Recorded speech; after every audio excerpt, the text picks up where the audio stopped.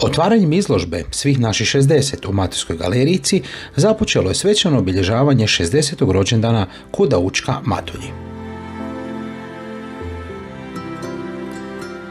Tema izložbe je retrospektiva djelovanja Kuda Učka Matulji koja je veoma sveobuhvatna i šarolika.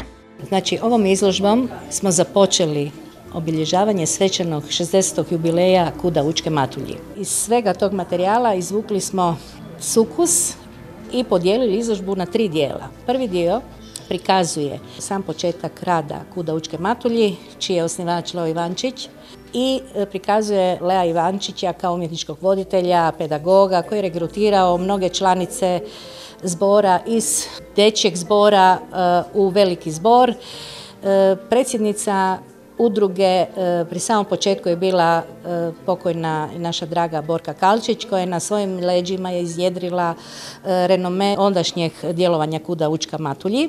Prelazimo na drugi dio izložbe, prikazuje događaje iz perioda od 10 godina kad je nakon Lea Ivančića preuzela dirigentsku palicu Nedeljka Sreboft. Nju prati predsjednica Kuda Učka Marija Lenžer Dakle, zbor je u to vrijeme putovao, gostovao po raznim mjestima, bio je u Parizu, bio je u Češkoj, bio je u Poljskoj, u Sloveniji.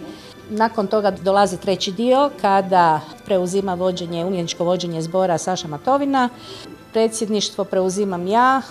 U tom dijelu koji već traje 11 godina zbor se okušao na svim međunarodnim pozornicama isključivo natjecateljskog karaktera gdje osvaja brojna priznanja, diplome, srebrne medalje i Grand Prix u jakoj konkurenciji u St. Petersburgu 2017. godine u kategoriji folklora.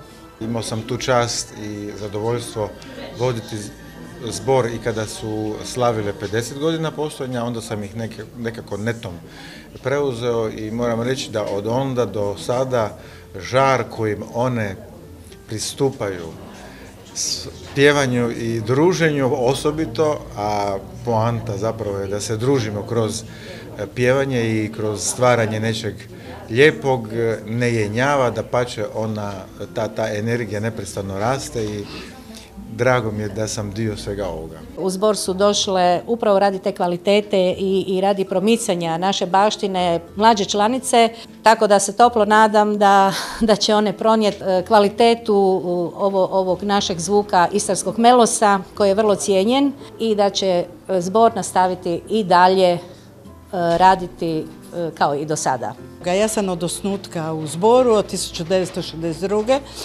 Išla sam u šesti razred kad nas je maestro regrutirao i ubacio u takozvani vanškolski zbor se onda zvao.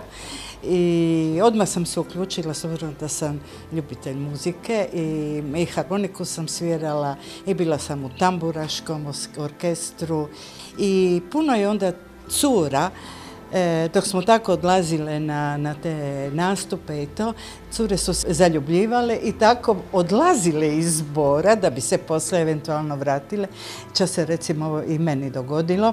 Tako da ja sam napravila jednu pauzu i onda sam se, e, nakon te pauze, nakon skoro devet godina, sam se opet vratila u zbor jer ljubav prema muzici je prevelika i ja to ne mogu ostaviti.